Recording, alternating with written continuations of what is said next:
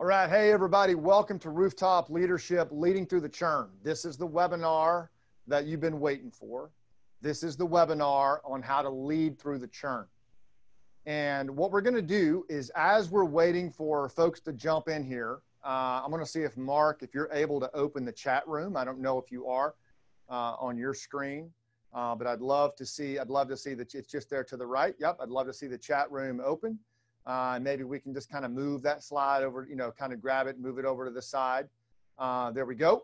And so as this thing is populating, what I would ask you to do, if you don't mind, is go ahead and put in the chat box your name uh, and where you're from, right? And we'd love to hear your comments throughout tonight's webinar. It's super important. That the whole idea here is having a conversation around the importance of community. That's one thing as a former Green Beret that I've learned is that community is at the epicenter of everything that we're going to do. All right. So it's so good to see old friends popping in here like Jim and Greg Smith, but I'm also seeing new people. So as this thing populates, please put your name in here and where you're dialing in from.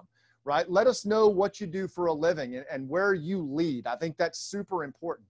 Now, what I'm going to do as we're, we're moving into this leading through churn webinar while it's populating, we're going to do a, a, a, little thing we call poll everywhere. And Jamie Dunn, our marketing lead, is going to talk to you through how to do that. But it's super important that we hear from you on this. It's really easy.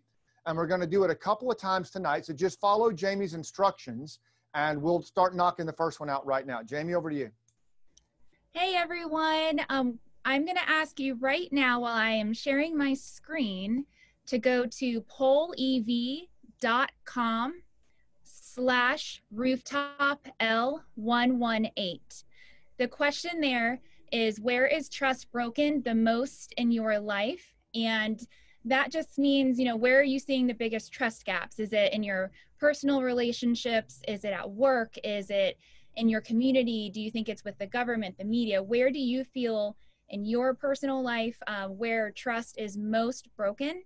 So if yep. you could go to pollev.com slash rooftop L118. You can go ahead and input your answers there. Yeah, and this thanks, Jamie. And this is a really cool function, you all, because if we're really going to have a meaningful conversation around leading through the churn, then it's really important that we start to get a sense from you of what you're seeing on trust in your arena, right? So, what I would ask is think about your arena right now, okay? The arena where you compete, the arena where you live, the arena where you operate on a daily basis. It could be in your community, it could be at your business, it could be on social media, it could be uh, in politics. We're seeing government here. So let me explain what's happening to you as you're watching this. This word picture is populating based on not just the responses that are coming in, but also on the, the magnitude of the responses. In other words, right now, a lot of people are saying they have issues with trust in the government. A lot of people are saying they have issues with trust in the media. That's disproportionately larger than things around family and leadership and things like that. Now we're seeing politics start to populate here. But the whole idea, you all, is I just want to get a collective view of where you feel trust is most broken in your life right now. This is just a diagnostic look because humans are emotional creatures. And that's one of the things we're going to talk about today. So, this feel statement that we're doing right now helps us get a collective sense of the emotional temperature of this group of leaders, right? And as you see this thing populate, understand that the people in this room right now are different ethnicities. They are different religions. They are different socioeconomic status. They are different disciplines. The rooftop leadership community, one thing I will tell you that defines us is our diversity. We come from all kinds of backgrounds, all kinds of uh, different groups. But look at what's happening on the screen right here. What you're starting to see is a populated perspective from all of that diversity and, and the magnitude of some of the trust issues that are starting to pop up and you're going to see themes that are going to happen throughout the throughout the night right? Now you but you are seeing evidence of trust broken in your community. You're seeing it in the in the in the in the uh, law enforcement. You're seeing it personally. There actually is a lot of uh, emphasis in here at personal levels on agencies local society friendships.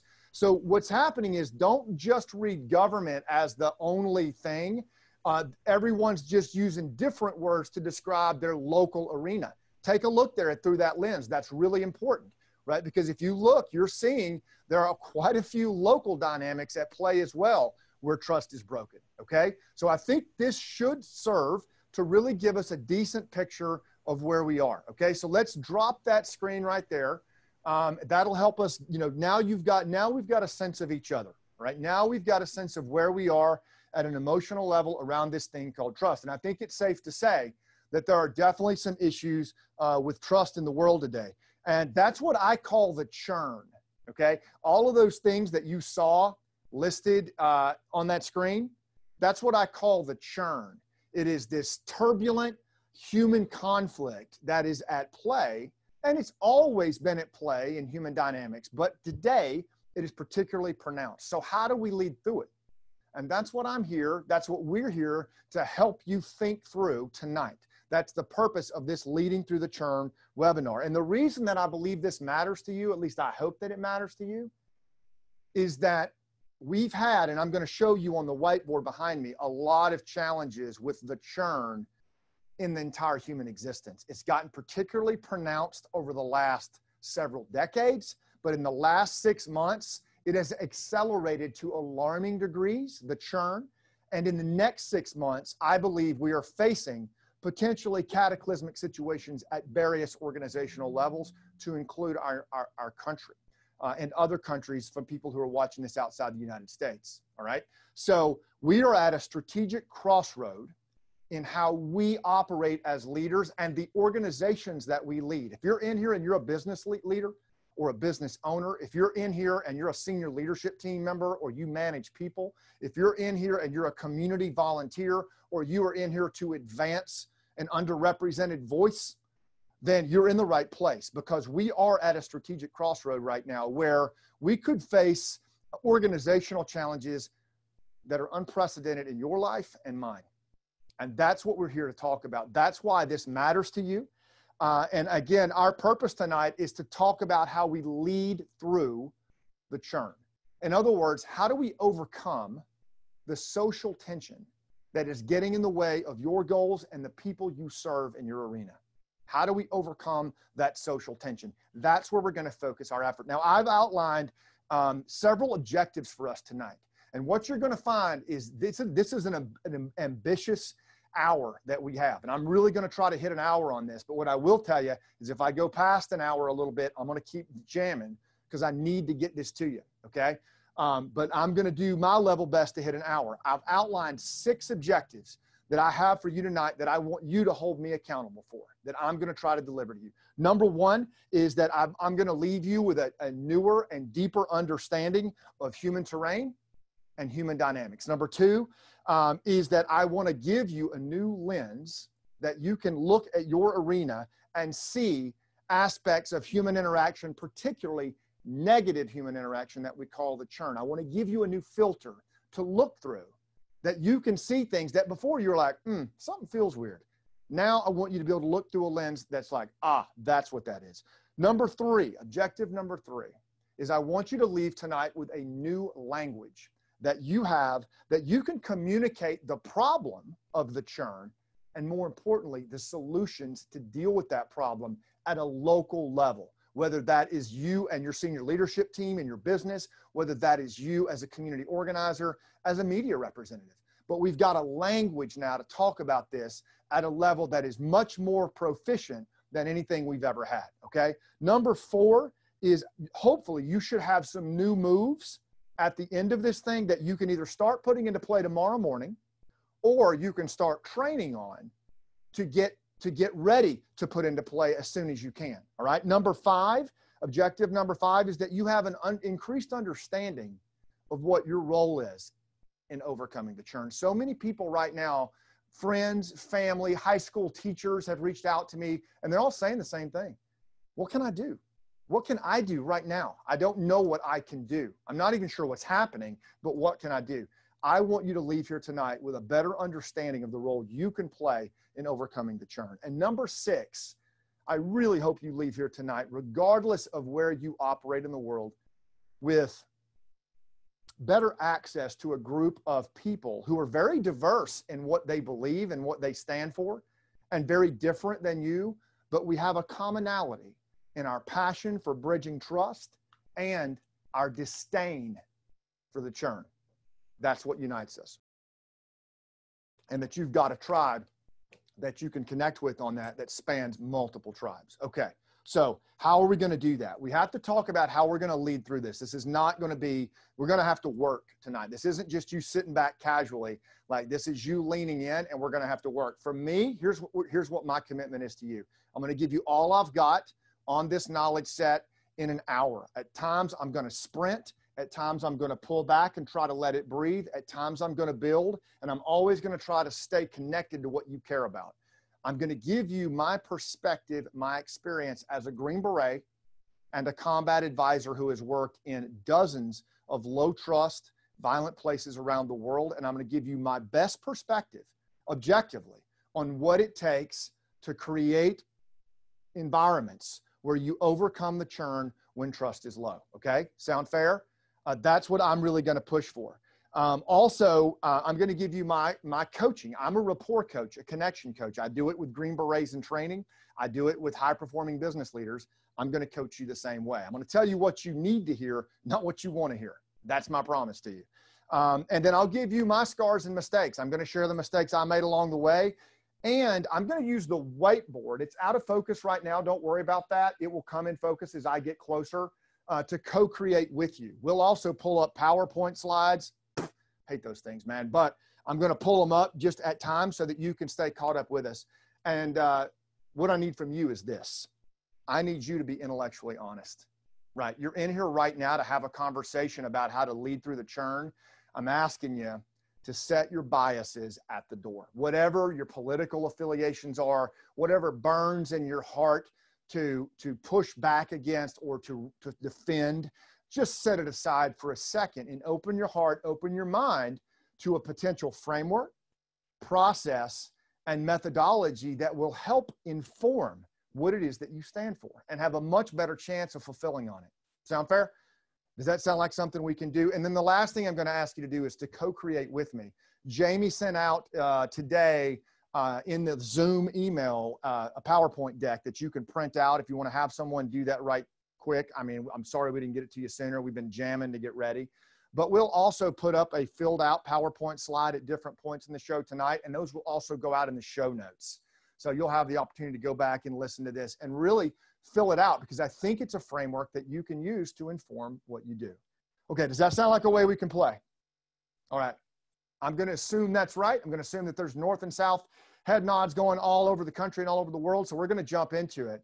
Uh, and by the way, right now we're looking at like close to 150 people in this webinar right now. So leaders all over the country are leaning in on this, and that is that is super super exciting. And continue to put your name uh, and your where you live in here, and put your comments in here because we'll go back and read them. If you have questions, we'll go back and address them. That's my promise to you.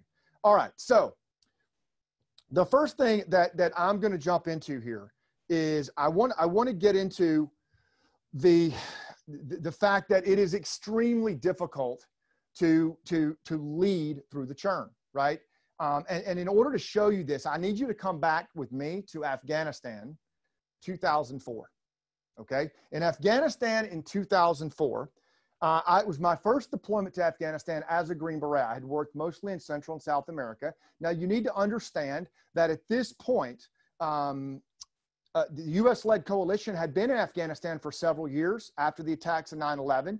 Uh, a small number of Green Berets and other special operators had pushed Al Qaeda out of the country. The Taliban was on the run in Pakistan. And then this massive US led coalition, over 100,000 troops came in, uh, US led NATO coalition, and started working with local Afghans to rebuild the country. Now, one of the things that was so significant about that was when my SF battalion, Green Berets, arrived in southern Afghanistan in 2004, we were on the eve of the first ever presidential election in that country. Now, understand Afghanistan, one of the poorest countries on, on earth, had lived for centuries under monarchy, and most of the rural folks didn't have a say about anything, right? And then after that monarchy, the Soviets came in in the 70s dominated that country for several decades, unended their whole way of life in terms of tribal dynamics. That was followed by a civil war where warlords from all the different ethnic groups warred against each other. And then you had 9 11, right? Where the US led coalition came in and for another series of years targeted and chased bad guys and, and, and, and bad actors into these rural villages.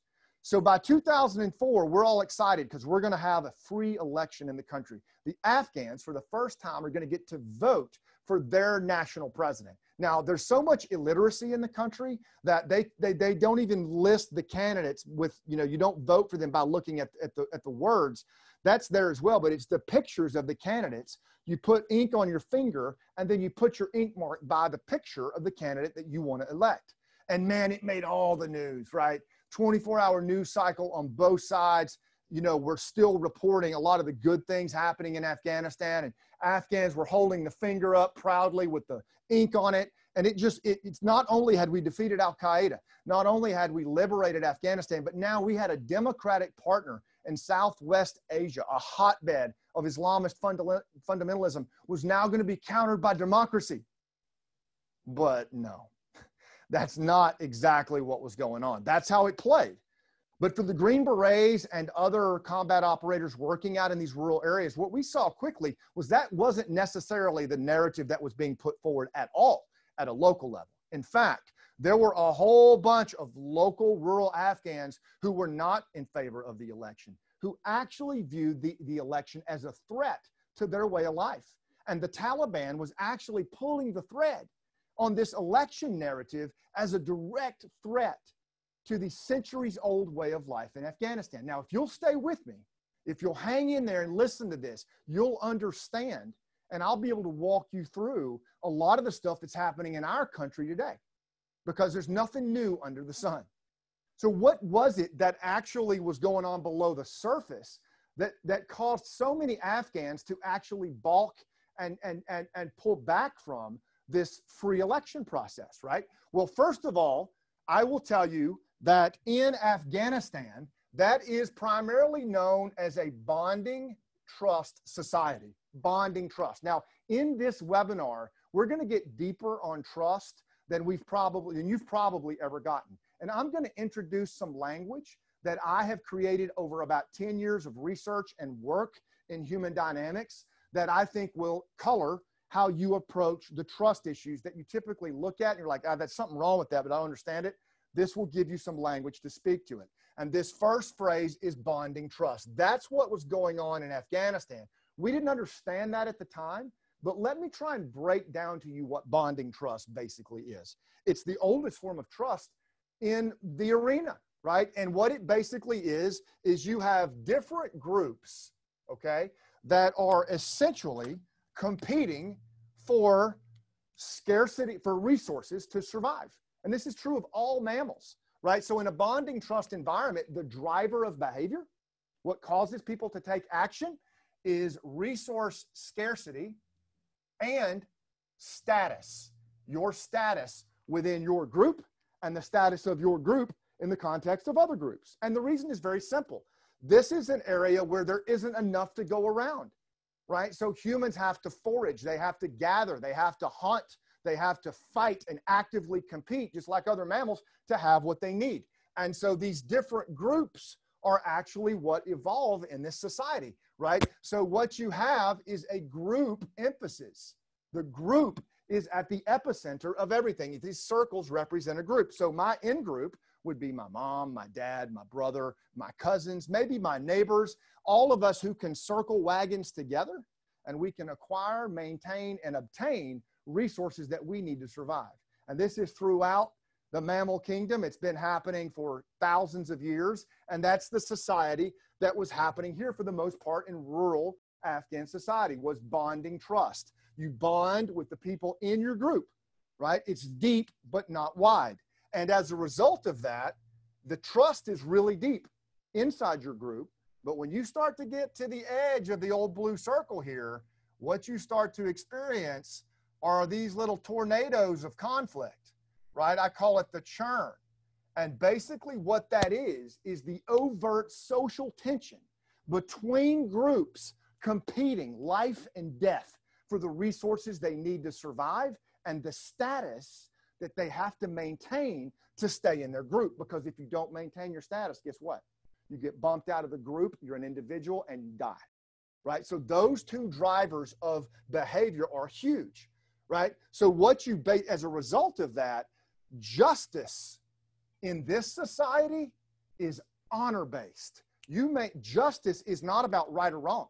Justice is about someone doing wrong to you, and then your group is honor bound to pursue that kind of vengeance and feud to avenge it. So you can imagine this is a very deep trust, but when those groups start bumping up against each other, it is very, very unstable. And so it is unstable beyond the group boundary, right? And and and again, so the focus on all of this for leaders is bonding. The leaders don't really care if I'm in the blue group, that's my in group. I don't really care what's going on in the other green groups. I could care less. It's not my problem. And in fact, they're the enemy. I'm going to do what I have to do to advance the agenda of my blue group. So now, with all that emphasis on the group, it's a little easier to imagine, isn't it? That all of a sudden, this occupation force that comes in after all these 40 years of conflict and says, Hi, I'm from the government. How you like me so far? Have we got a deal for you? We're going to empower all of the individuals in your society to stand up on their own. An overt threat to a group dynamic that has survived for thousands of years based on shared struggle. Okay? So played right into the Taliban narrative. We didn't even realize it. We just drove by throwing soccer balls out the window and handing out PSYOP leaflets to vote. Right? Well intended, but it didn't do the job. Now, let's talk about the society that we came from, we being the US led coalition and other Western countries, that caused us to promote this, this election in this rural area, this bonding trust area the, the society that we came from that was promoting this is what I call a bridging trust society. Okay. Now, I borrowed those terms from Robert Putnam in his book, Bowling Alone. Robert Putnam uses the, he's a, he's a social scientist, groundbreaking work. You should read the book. Uh, but, but he calls it bonding social, bonding social capital and bridging social capital. I just abbreviated it to trust. Okay. But the society that we came from was bridging trust. Now, let me tell you what bridging trust basically means. You've lived in it most of your life, you've grown up in it, but it's an invisible truth. It, it's transparent to you in so many ways. So, let me give some language to it, let me give some color to it. A bridging trust society, instead of having these circular groups, what you typically see are individuals. You see all of these dots, those represents individuals. Now, Let's just say that I am one of those dots, right? And I get out of the military and I want to start a business on leadership and human connection. Well, down here in this society, I'd probably have to start that business with everybody from my tribe or clan because that's who I'm allowed to work with. And that's a pretty unstable system. But up here, I can actually bridge beyond my in group. I can establish a business partner who might be a different ethnicity. I can establish a shipping relationship outside into the state of California. I can work with Muslims and Christians over here, and I can start to build these relationships all over the place. I can use social media to establish it, and pretty soon I've got all of these cool connections that are beyond my in group, right? It's far beyond my in group. And the reason is because the emphasis is on the individual. I don't have to worry about accountability to my group. Because if I tried this down here, it would be an ugly scene. Here, I am absolutely freed up to bridge however I want to do. And a big reason for that, people ask me all the time, well, why is that possible? Well, down here where you have emphasis on scarcity and status for a whole host of reasons, and these societies, you typically have a large sense of abundance. There is enough right? That you don't need the group dynamic, okay? And there is a sense of psychological safety, as Daniel Coyle says, and there is a sense of shared connection and there is a sense of shared future. The three things that Daniel Coyle says in his book, The Talent Code, that high performing cultures must have. And all of those are present enough that I can bridge beyond my in group safely. Now, a few other things have to be in place for this to work, right? The first thing is rule of law has to be in place. The state has to have a monopoly on violence, right? In places like Afghanistan and other tribal societies, right? The state does not have the monopoly on violence. Groups handle their own violence because it's honor based justice. But up here, you have the state has to have a monopoly on violence to preserve the autonomy of the individuals, right? And if you lose that, then you can't have the bridging trust environment. So there has to be also strong leadership. You have to, because this is not a natural form of trust. This is. This is actually how humans are designed to trust.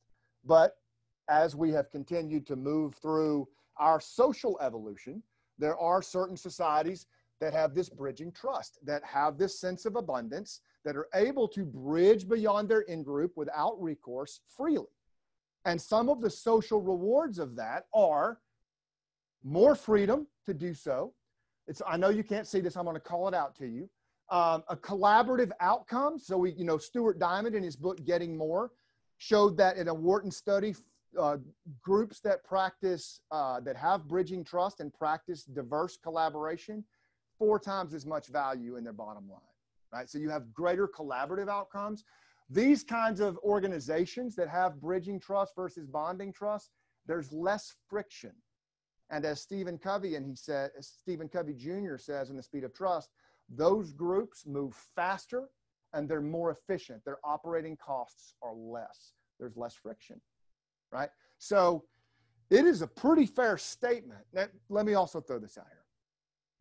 I'm going to get to this in a second, but I want to show the football a little bit. I am by no means asserting that this system is equitable or currently fair.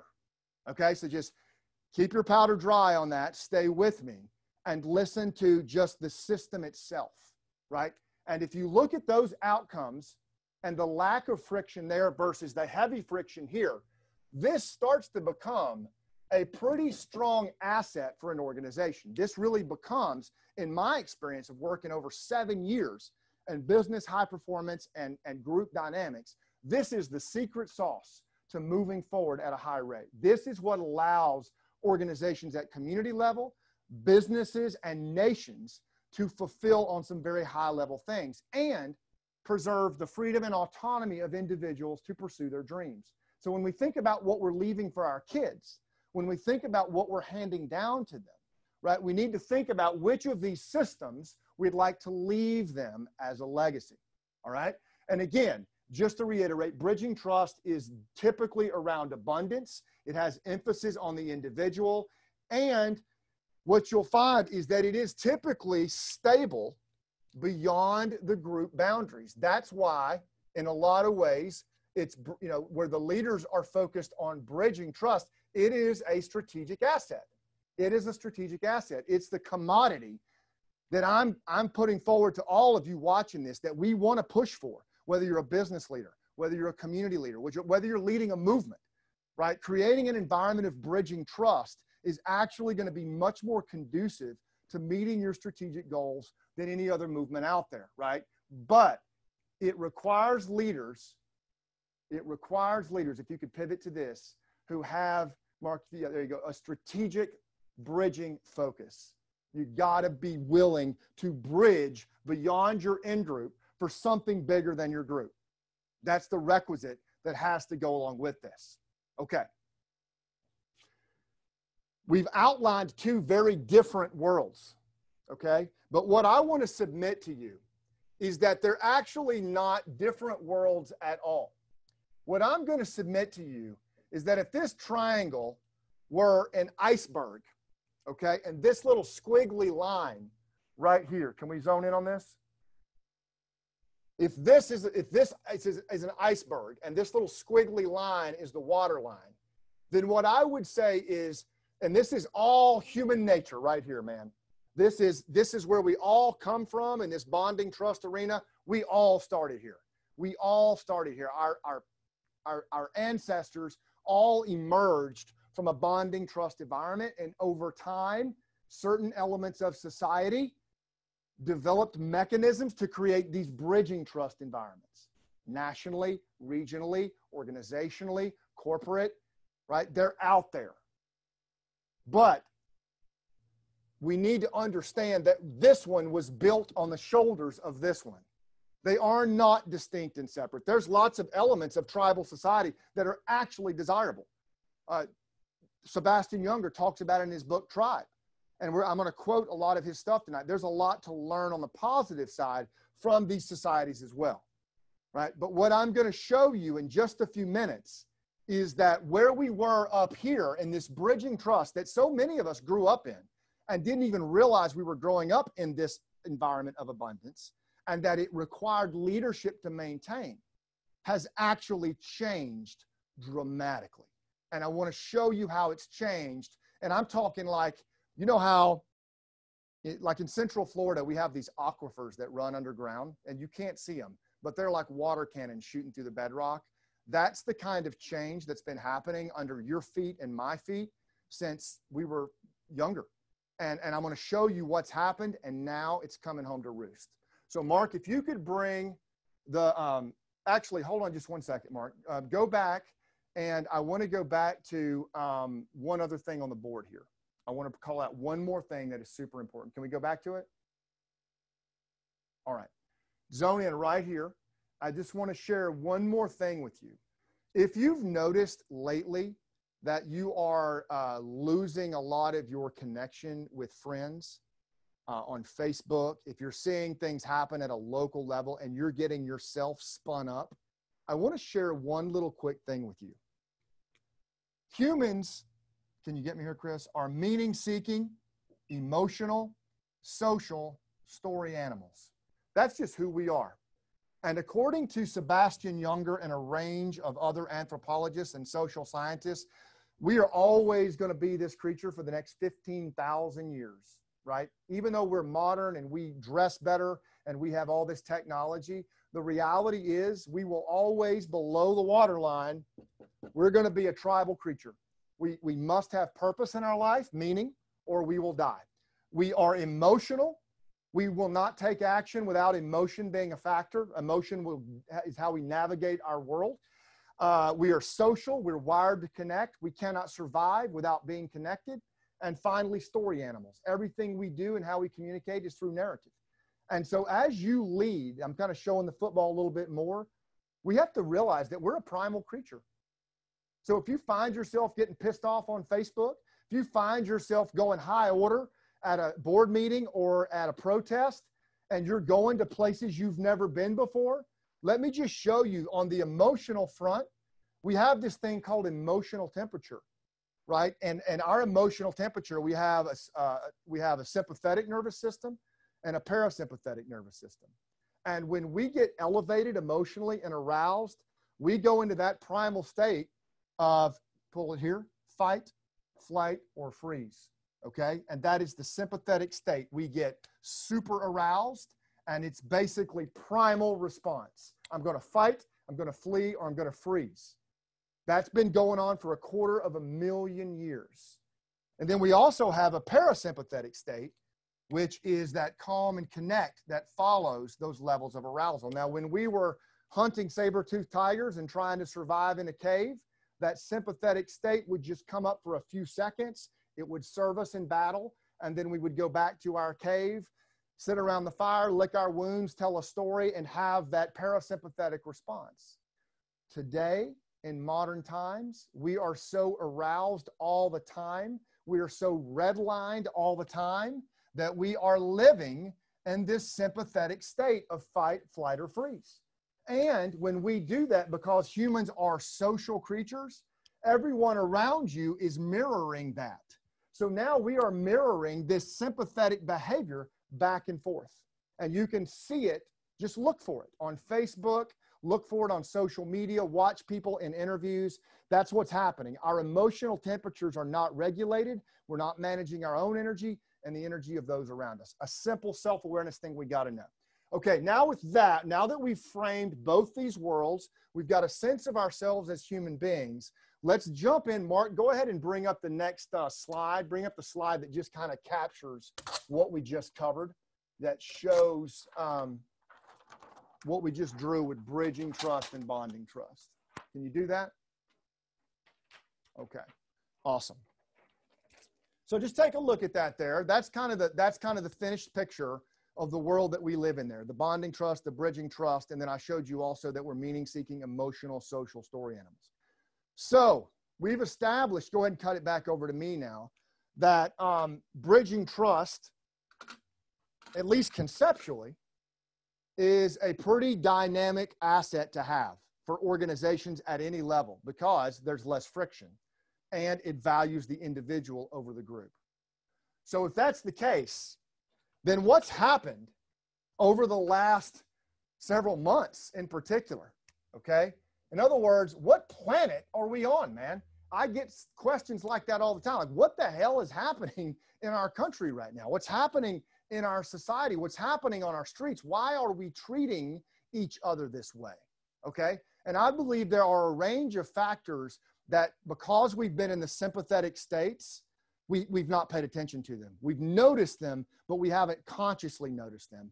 And we need to do so if we're going to lead through it and if we're going to have any chance at a bridging trust society again. Let me give you some of the examples that I'm seeing. Maybe you're seeing them as well. I believe that Facebook, Twitter, and Instagram for, are, are digital killing fields. I believe that people's uh, professional careers and reputations are just being slammed right? People are picking these digital hills to die on. If you don't like me, then unfriend me. Boom. And they're out, right? And, and massive damage is being caused at a social fabric level in these digital killing fields.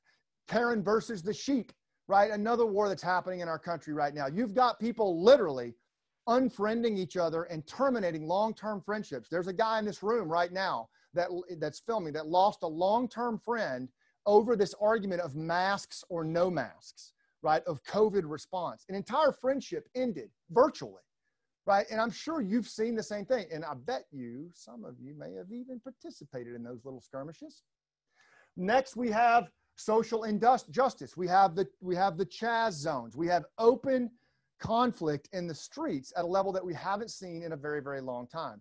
I'm not looking to get into the drivers of it. I'm simply stating that there is open conflict in our streets at an unprecedented level right now. We also have Biden versus Trump. We have an election coming up that is particularly nasty. The people who are affiliating with each side are super dug in, super divided, right? And it is it is affecting family relationships and long-term friendships. And finally, we even see discussions of democracy versus socialism on a level that we haven't seen particularly maybe in our whole nation's history. And I just cite those as context to go, okay, what's happened? What is it that's going on that we need to pay attention to? And what's causing these kinds of social turbulences? I will tell you that starting in 1972, we started to see an insidious, subtle erosion of bridging trust in our country and in the West. We look back on it now. Robert Putnam brings this up in Bowling Alone beautifully, and he illustrates how in 1972, we started to see a range of things happen. Some of it was uh, mass media with television. Some of it was the Vietnam War, the protests surrounding the Vietnam War, Watergate, a mass move to suburbanization. And he cites about 12 or 13 things that contributed collectively to this gradual erosion of our bridging trust society. We started to see an, a, a movement away from the bridging trust piece. And, and, and as a result of that, you started to see more conflict and less bridging beyond one's in group. You started to see less e pluribus unum out of many come one. And you started to see more group dynamics where people were circling wagons back towards this. And you're like, what the hell's going on? Why would that be? And it got more and more pronounced over time. I started to notice it as I came back from Afghanistan and I was writing this book, Game Changers, about the, the village work we did in Afghanistan to, to turn some villages around. And I had to study trust here at home. And I was like, holy crap. As I started looking at what this was supposed to be, it was actually looking more and more like Afghanistan. And I thought, what is going on? And the reality is, there is overwhelming polling data that shows starting in 1972, the United States and other bridging trust societies started to make a move away from bond, bridging trust and back into bonding trust. Remember, bonding trust is the most natural form of trust. It's what all mammals do. We're wired to actually trust that way. And so, as these different factors started to happen, you started to see this movement to bonding trust, to more of the in group, out group dynamics, right?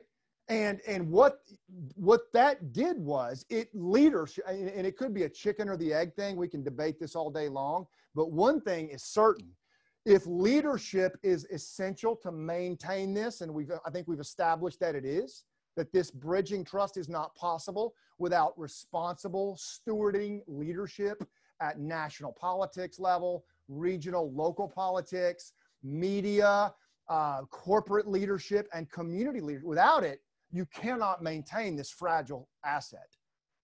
We started to see a departure of leadership at all levels in relation to bridging trust in 1972. And the reason I can tell you that happened is first of all, there's an excellent article written by James Mattis, former Secretary of Defense, on his way out the door in the Trump administration, right? Where he talks about tribalism. It's in the Wall Street Journal. We'll post it in this thread. But he talks about exactly what we're talking about here how the United States, rooted in this bridging trust culture, has all of a sudden reverted back to a tribalism approach. Now, I don't use tribalism as much as Mattis does. I prefer bonding trust. I think we're on a spiral to bonding trust because I believe there's elements of tribalism that are actually good. I, and I'm going to talk about a few of them today. There's things we can learn from it. But we did start to move from this bridging trust model to this bonding trust model. So, what you started to see in your workplace, what you started to see on Fox News and CNN were all what I call these little churn twisters, right? These, come on, zoom on in on me here, right? These little twisters of conflict. Of, you know, you remember in, in, in the cartoons, um, you know, when we used to um, read Charlie Brown and, and Bugs Bunny, and there would be like a fight between the characters, and there would be this little twister, and there would be a, a hand coming out here, a fist, and a foot over here and a head sticking out this way, a little X in the eye. That was a little, little t- twister of conflict. That's exactly what started to emanate and emerge in our arenas, in your arenas, right? And it happened so slow and so insidiously. We saw something kind of change and we'd kind of go, oh, what's going on in the world today? But we couldn't really put our finger on it, right? But what we've seen statistically is a real change in three major areas. One is what I call distraction, right? The churn sees a ton of distraction today. The average attention span for an adult is eight seconds, according to Microsoft, right? That's one second less than a goldfish in a very controversial study. Next, we have disengagement. We're seeing disengagement across the United States at levels approaching 85%. That basically means 85% of people in the workplace today lack purpose. And we've already established that meaning is essential to survival. Okay. And then finally, distrust. We've got a very high level of distrust going on in the country today. Super high level of distrust that's happening. Right. And it's, it's distrust at a couple of, of levels. Let me take you there. First of all, remember we said for this to operate, the bridging trust, we said for that to operate, you have to have responsible leadership. Well, we know now that polls have shown since 1972 a plummet in the trust of politics. For example, in the in the early 1970s, trust in Congress was somewhere around the high 70s. It's laughable now. It's dropped down to the teens, single digits in some cases. Same with the media. Go back and look at the Gallup polling from early 1970s to today on the media, plummeting. Trust in our banks, trust in the financial sector, plummeting. Trust in law enforcement, currently plummeting. So all of the institutions that we've historically relied on to hold the line for bridging trust, we've lost faith in. But here's even what's more concerning is the community trust, right? The trust we have in each other, in our neighbors. In 1972, Gallup took a poll and said one third of Americans don't trust their neighbor. That was actually one of the highest countries in the world, America was, in our ability to trust ourselves. Now, two thirds of Americans say that they don't trust their neighbor, and that number is climbing, especially with what's happened in the last six months. So we're now seeing unprecedented distraction, disengagement, distrust. And again, it's all around this spiral into the churn 2.0. It's all in this bonding trust. We're moving from bridging to bonding. Okay, we're circling wagons with people who look like us, believe like us, because we are afraid. We're afraid from a status perspective, from a safety perspective, and a resources perspective. And that's what humans do when they get afraid. We revert back to our group because that's where we're safest. And we abandoned what we've built over these decades. Now, what is the cost of that to you and me? Right? moving along from 1972 until the last six months, I would estimate the cost is primarily in the realm, if you could bring it over here, of organizational friction, organizational fracturing, and organizational erosion, right? So there was this steady decline in efficiency and speed and our ability to get things done as a collective at every level, but we were still moving we were still moving forward. We were still achieving things. It was just less than it was before. And we noticed it, but we couldn't quite put our finger on it. All right.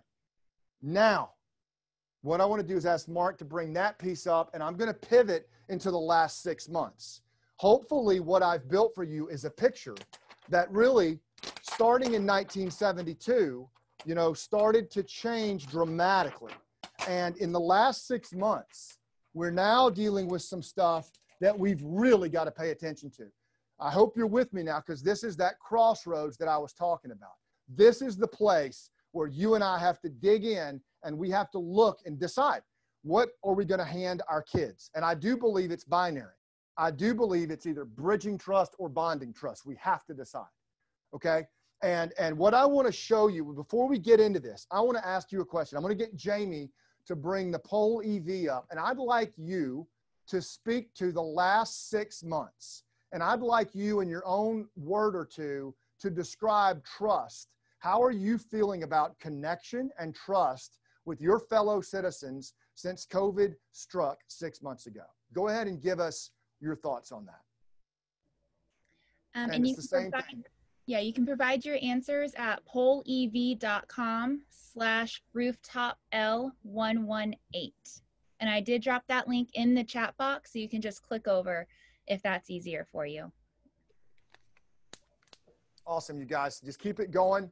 Uh, let's see what's going on there because I want to see, once again, this is where we get a sense of each other, right? I'm seeing concerned, I'm seeing struggle, adrift, lowest ever right? Alone in all caps, worried, very disappointed by some, encouraged by others. Um, anemic, wow, that's powerful. Afraid to share, large majority there as well. Alone. And you see as this thing just continues to populate, scared. That's the last six months, right? Tribal. And the reason that I want to get this out there is I want to hear from you. I want you to populate what the last six months has looked like for you as a collective. And again, I'm reminding people here that we have people from all different ethnicities, we have people from different religions, we have people from different countries, right? We have people uh, from different organizations, socioeconomic status. There's a lot of diversity in this room. But if you look at what's populating on the screen here, it's pretty consistent. It's, it's pretty unprecedented what we've seen in terms of social tension over the last six months, right? And we could let this play out all night, and I guarantee you it would continue to follow this trend. All right, so now let's come out of that. And I want to look at the last six months, and I want to try to maybe give a little bit of structure to you all that will help you get your head around this. And we need to focus in on me on the board here, guys. Um, so, the last six months, there have been three pervasive challenges that I believe will help you understand why you typed those words in, right? That we haven't necessarily been conscious of. One is there has been a persistent threat that you have faced that is COVID over the last six months that we've never experienced. We've never experienced a pandemic. We've never shut the world down. We've never watched our businesses cave. We've never friggin' like watched movie theaters shut down. I mean, are you shitting me? I'm sorry, but like that's crazy. But it happened, and it happened to us, and and, and so we've become used to it now. But it's it's really rough, right? It's a person. We worry about our parents. We worry about people like Romy Camargo, whose immune system is compromised, right? A warrior who's fighting for his country, and and now he can't even go outside. That persistent threat is real. We also face a ton of uncertainty so many of you parents, you had to have your kids home from school. They came home for spring break, and then you got the word they're not going back to school. That's sporty. Anyone plan for that one? Right? Uncertainty. You're having to go to a 13 week cash flow in your business. You never expected to have to do that, right? Complete chaos in the market, and, and it's still uncertain. And humans don't do well in chaos. We don't do well in uncertainty. And finally, isolation. Isolation because of this um, this social distancing, right?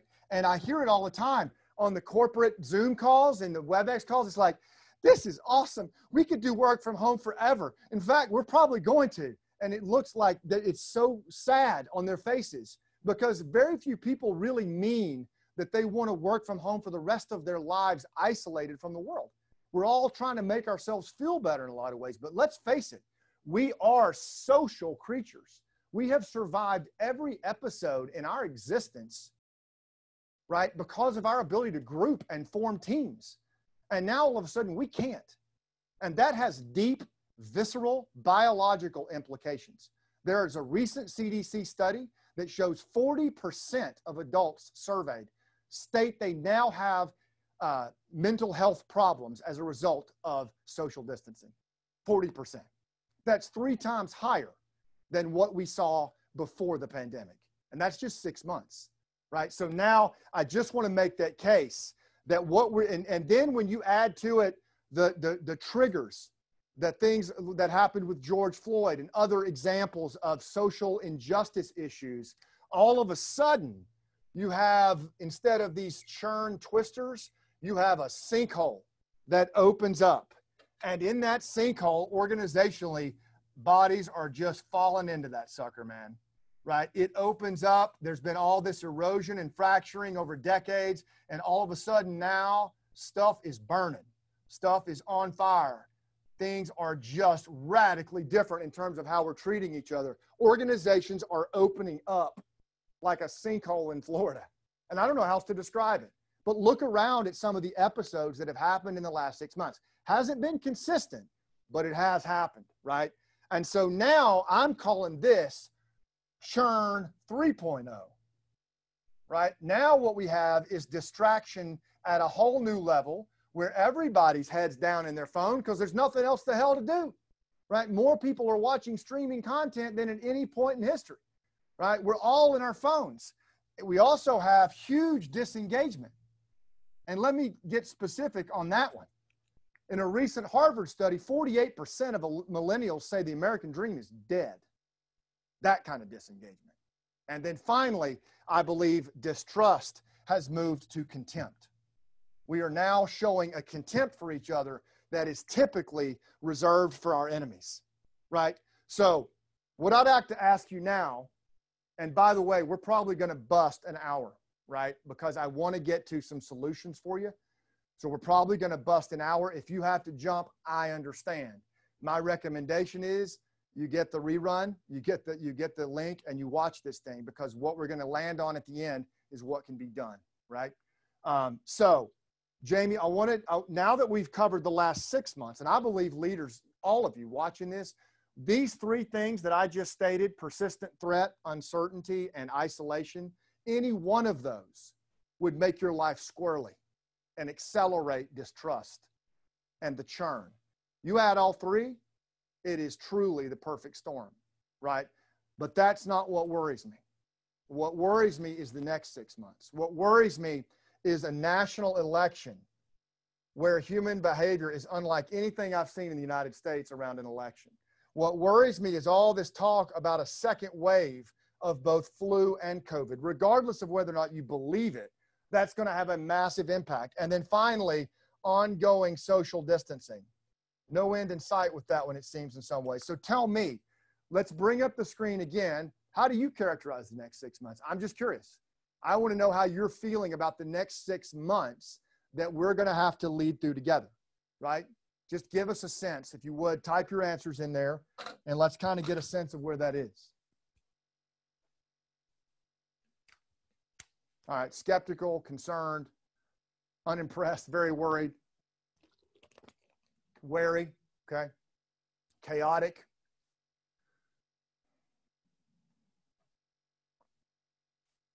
Rise of the introverts. Again, wary, stressed. And what I would point out is that you've already run a lot of miles over the last six months that has an, um, a cumulative effect on your emotional temperature right? Um, and I'm glad that some of you are feeling optimistic and I'm glad that you're seeing opportunity because here's the thing I want to share with you. I am too, because I intend to actually bridge through this. I intend to actually move beyond the churn. And I think it's actually, like someone is saying right here, time to step up, right? There, there is a lot of distrust. There are things to worry about, but only if we stay in the bleachers and wring our hands. All right. So thanks for populating this. Let's go ahead and pull it back out to me. And what I'll bring it to right now, as, as they change out here, is that the risk over the next six months, in my estimation, is that if fracturing and friction and erosion were our concerns at churn 2.0, right? And we saw in churn 3.0 over the last six months a couple of sinkholes. What I'm worried about over the next six months, you all, if we stay on course of what we're doing as leaders, is organizational collapse right? Where sinkholes are opening up at all kinds of different levels, particularly in our communities, right? And I want to read to you something that Sebastian Junger says in his book Tribe about the importance of community as we lead forward. Junger says there are many costs to modern society, starting with its toll on the global ecosystem and working one's way down to its toll on the human psyche. But the most dangerous loss may be to community. If the human race is under threat in some way that we don't yet understand, it will probably be at a community level that we either solve the problem or fail to. Right? So we've got to watch and protect against the collapse of our organization, the collapse of our businesses, collapse of our nation, the collapse of our communities. And we have to fight for that. And the reason that I state that is I don't believe that anybody else is coming right now. So what I want to do to wrap this thing up, and I'm going to try to step through them pretty fast, is I want to throw out at you um, a couple of objections that I've heard about what I've put out here, followed by some suggestions on the way forward. Okay. So my promise to you is I'm going to try to move through this in the next 10 to 15. I'm going to step through it pretty efficiently, but I want to lay it out there. And again, if you have to drop, I do hope that you'll come back here and get these points. And we'll also send them out as fully completed PowerPoint deck so that you have it. So the first objection I get is from is a lot of people who were my teachers in high school. Uh, my parents have said this, other people, and they say this is the people who really need to be watching this are the politicians and the media. They're the ones that are violating this.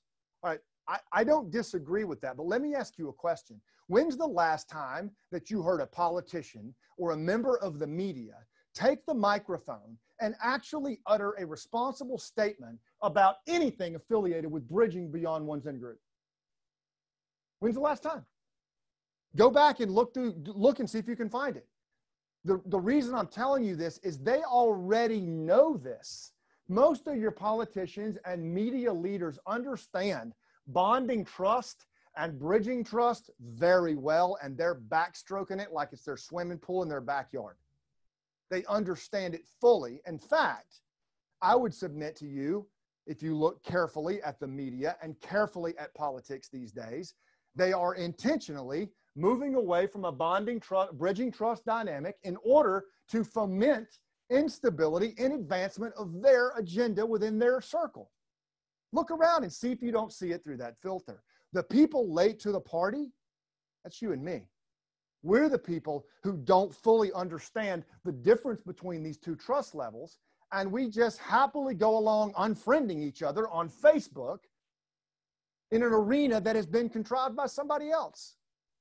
And that's my honest belief on how this thing is playing out. So I don't subscribe to the notion that we pin this on the politicians. Yes, they need to go. Yes, so many in the media need to go, but that's up to us as responsible citizens who understand at a binary level the two worlds, and we don't pol- tolerate politicians who don't bridge to a vision bigger than their in group. And if we if we put all of our faith in that politician or that media leader or that named leader, and we know that they willingly do not bridge, then it's we're putting all of our faith in something that is going to cause a swing the other way, just like the pirate ride at the fair. It's just going to keep doing that. It's up to us in civilians and how we show up and how we understand those two worlds and what we demand of our leaders over time. All right, the second objection that I hear all the time is this system is rigged and it's only for a few groups.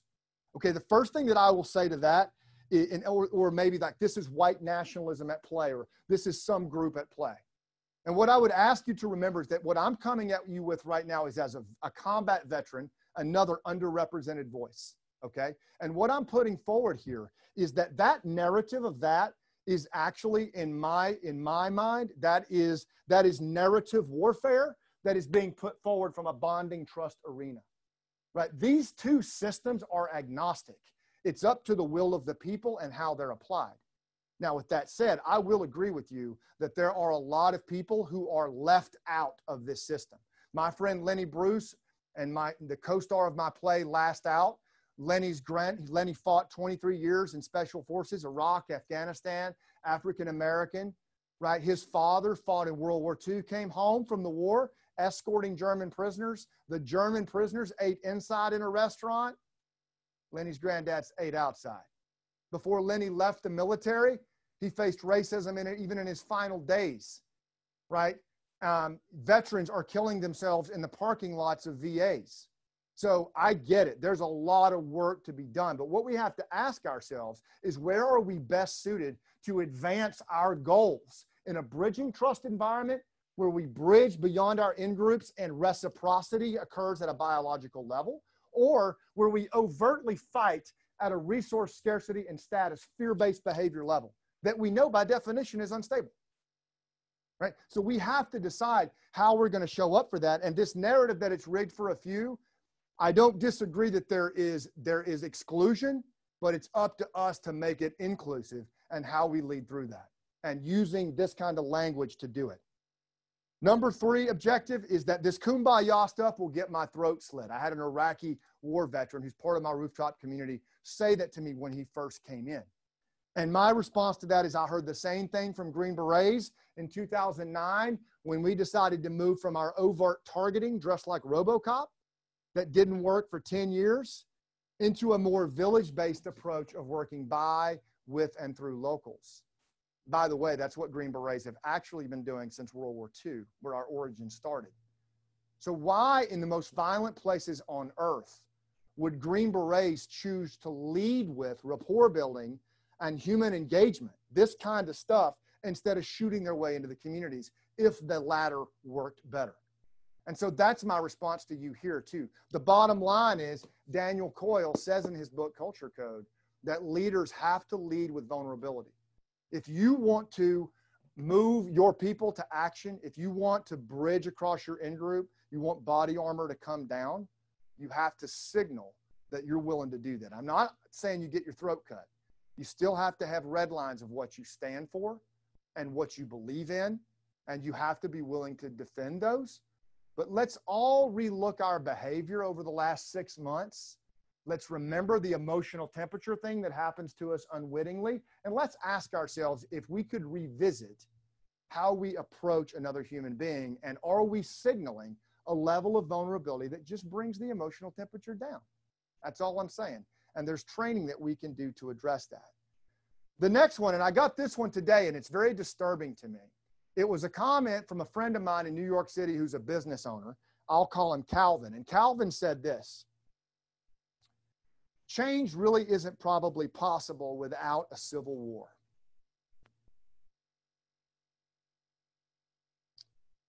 I'm going to be honest.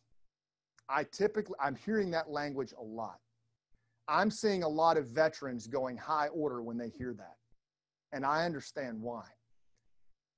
When I hear that kind of language, it is typically spoken by people who have never heard the crack of a round in combat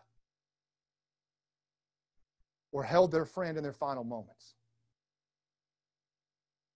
And if we start using that kind of language in this country, then we are on a course that we cannot stop. And veterans know this. And so I do not subscribe to that notion at all. Even though we are at some points at this episodic violence, it's because there is an irresponsible display of leadership.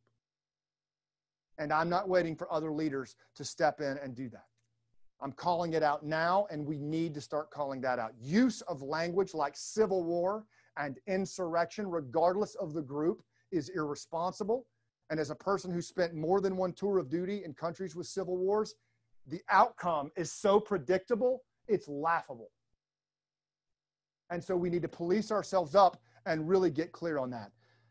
Which leads to other people saying, okay, Scott, what's your angle on this then, man? Everybody has an angle. What's your angle? And my angle is what I actually call the veteran's dilemma. In my play, Last Out, towards the end of the play, it's a play about a Green Beret sergeant named Danny Patton who um, is is trying to find his way back home after the longest war in his nation's history. And toward the end of his career, he's having a heated argument with his wife, Lynn, who's been with him through thick and thin, because his son just told him that he's joining the army and going to fight the war that Danny couldn't finish. And Lynn is like, Danny, please just, just come home. Right? Just come home and just be home. And Danny's looking around at a society that he doesn't even recognize anymore. And he says, I'm going to tell you something. Dying for your country is one thing. I am fully prepared to do that. But I have no clue how I'm supposed to live for it. And that is exactly the veteran's dilemma today. I borrowed those lines from Sebastian Junger, And I believe that they speak to exactly what we're dealing with today when it comes to this problem set. And I want to share it with you right now. Today, veterans come home to find that although they're willing to die for their country, they're not sure how to live for it. It's hard to know how to live for a country that regularly tears itself apart along every ethnic and demographic boundary. Junger, a war correspondent, goes on to say, I know what coming back to America from a war zone is like. I've done it so many times. First, there's a kind of shock at the level of comfort and affluence that we enjoy. Sound familiar? Right there. But that is followed by the dismal realization that we live in a society that is basically at war with itself. People speak with incredible contempt about, depending on their views, the rich, the poor, the educated, the foreign born, the president, or the entire US government. It's a level of contempt, and please hear me on this, that is usually reserved for enemies in wartime, except that now it's applied to our fellow citizens. Unlike criticism, contempt is particularly toxic because it assumes a moral superiority in the speaker. Contempt is often directed at people who have been excluded from a group or declared unworthy of its benefits. Contempt is often used by governments to provide cover for torture. Contempt is one of four behaviors that statistically can predict divorce in married couples. People who speak with contempt for one another, Junger ends, will probably not remain united for long. Here's what I equate it to. This is what I believe. is I'm sitting in a foxhole in Afghanistan. The sun is going down right now, and I'm in a perimeter line with a platoon of infantry. And we are holding the thin line against a Taliban onslaught that is outnumbering us five to one. And as the sun is sinking in the sky, we see the entire Taliban force flanking to the right. And we know that in just a few minutes, as we watch them scurry up that ridge line, they're going to get on line and they're going to sweep across us with everything they have. And it will take everything we have to hold the line. And just as they get ready to launch and the whistles blow and they're moving, I tap my foxhole buddy on the shoulder and I slap the shit out of him for being Hispanic. And then I turn over here and I slap Karen for being a sheep. And then we just start slapping the shit out of each other all the way down the line while the flank moves. That may seem comical, it may seem laughable. But when veterans have gone off and defended a system of individual freedom and experienced bonding trust in its ugliness, and then watch it on display when they come home. It is utter madness.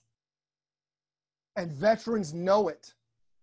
They know the outcome of this. And more importantly, they know that there are external and internal threats in this country of every nationality, of every origin, of every color, of every belief, salivating and sharpening their knives right now, watching everything we're doing. And they have a new strategy. Would you like to know what it is? Don't do anything, baby. Just let it play and go in and pick up what's left. And if we think that we are not in that shared outpost as a society, we are deluded. And that is what we are handing our kids. We are handing our kids a mechanism that is built on the most primal form of competition around group dynamics and not individual trust. And that's why veterans are so up here on this thing. And what I'm asking all of you as you watch this is to consider the wisdom in the veteran voice right now. And to all of my veteran brothers and sisters, I'm begging you, come back up out of the mountains. I know what you're watching right now, but we need you leading. We don't need you going to ground because, like you, I don't want to watch it either. But we need to lead through this and we need to recognize what the veteran dilemma is. Now, some of you might be saying, okay, great, but what, what, what can be done? I mean, I'm one person. What can I do? And what I will offer to you is what I call Putnam's proof. In his book, Bowling Alone, at the end of the book, he has a, set, a chapter called Better Together. And Putnam says that in, in, in the early, uh, late 1800s, the late 1880s until the 1920s, it was hard times in the country. There was churn. There was um, a move from agrarian to industrialism, the haves and the have nots, the Carnegies and the Rockefellers were clicking along with high wealth while most folks had nothing. There was massive immigration that was just uncontrollable, and the cities were sweltering, and crime was up, and the infrastructure couldn't hang. And the pundits were saying the end is near. And a group of people across the country looked around and said, okay, I guess no one's coming. And a guy named Dr. Bob and Bill W. said, well, then that guess that means no one's going to help with alcoholism. No one's going to help with my drinking problem. So let's just start AA, me and you. What do you say?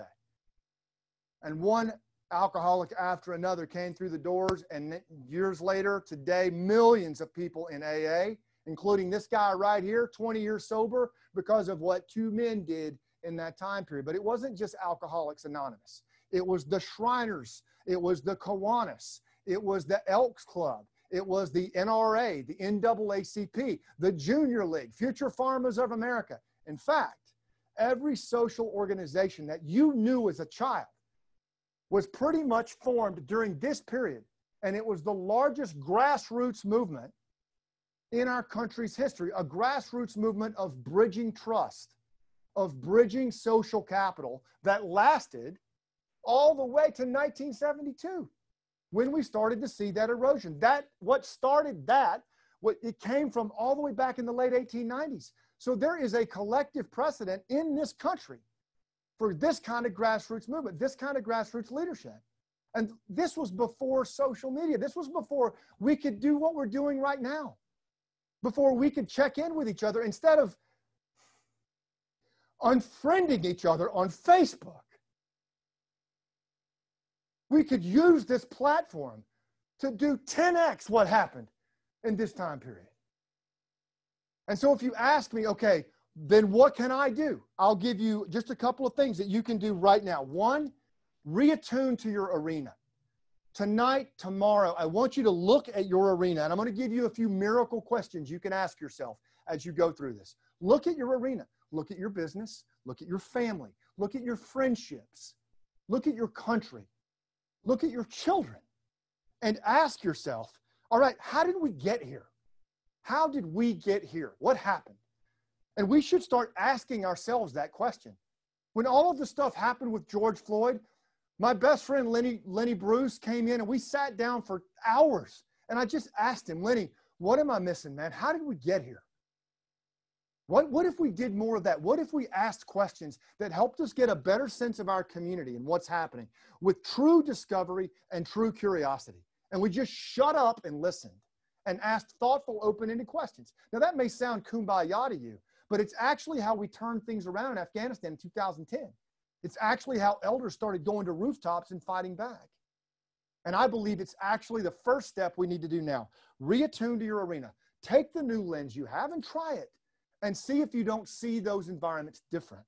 Number two, decide to bridge. This has to be a conscious binary choice between two environments. Both exist, and the outcome for each is not set yet. But you have to decide where are you going to fall on that, right? And ask yourself this very simple question. Starting tomorrow, how am I going to treat people outside my group? It's a simple question. How am I going to treat people? For the most part, it costs you nothing. And most of our emotional temperature issues are because we are treating people the way they're treating us. And it is a reciprocity thing that's taken us high order. Number three, communicate a vision of bridging trust wherever you lead. If that's in your family, if that's in your PTA, if that's in your community, your classroom, if you're a business owner, a team leader, communicate to your people what your vision of bridging trust is. You have a new language, use it. And just ask yourself, where can I start to build a vision of bridging trust? Where can I start to communicate a vision of bridging trust? The next step in that, number five, number four, excuse me, is model it. Just model it in your day to day behavior. I tell people this all the time. I tell my boys this all the time. Leadership starts with you. If we can't lead ourselves, we can't lead anybody else. And we have to model what human engagement needs to look like. Right? And so just ask yourself this very simple question the next time you're in an engagement How can I get this person ready to listen? What is it that I can do that will help them get ready to listen to me? And if they're not ready to listen, then stop talking. Ask questions, bring their emotional temperature down, and then when they're ready to listen, you'll know. And if it gets to the point where it's just chirping, just walk away, right? Just disengage. Don't let your emotional temperature suffer from that. So, how we model this behavior in our day to day is everything. And think about the exponential effects that could have if we start leading with that. Number five is you got to train. The stuff I'm talking about, this isn't just instinct, this is decades and decades of work and synthesis and whether you agree with it or not, at least it's a framework to engage. Now you have to train. What are you, how are you going to listen better? How are you going to use story and narrative to communicate? How are you going to be present in those moments where everyone's physical posture is combative? How can you be present in such a way that just your attunement, just your breath brings the emotional temperature down? That takes training.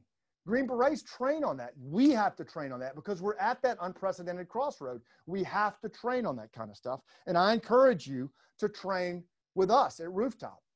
And I'll end on that. Finally, um, you got to reattune to your arena all the time. It's always changing.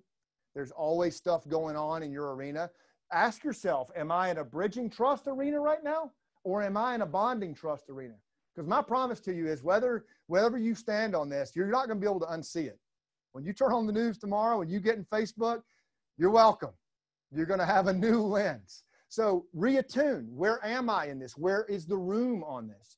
Leadership's the management of energy, yours and others. So understanding your operational environment, that's the first special ops imperative. Use it because it's relevant to your life. Just reattune and avoid the churn. I tell my teachers this from high school. I tell my mom this. I'm telling all of you if you think that social media is like the, you know, the honorable forum to like win the day on your agenda, you are being played. You're being played. We're not using that platform the way we could use it as leaders. And I'm just going to leave it right there. My recommendation is if you see yourself being torn into a churn twister, step away from it. Because as Lawrence of Arabia says in his 27 articles in 1917, avoid tribal conflict. You lose all credibility. If you want to bridge and be a catalyst, you cannot get sucked into those churn twisters. Avoid it and look for a better opportunity to bring emotional temperature down. And then when they're ready to listen, you engage. Don't just run in the red at an emotional temperature and get sucked in. And finally, connect. I'm asking you to connect with a tribe of rooftop leaders. There are people in this room. There's still 120 some people on this webinar right now, and I love that. There's 121 people, and these aren't these are like leaders, man. I mean CEOs, uh, community influencers, soldiers, stay-at-home parents. Like, well, I guess we're all stay-at-home parents now, aren't we? crap. All right. But you get the idea, right? This is a room of people with very diverse opinions, but this is where we can bridge.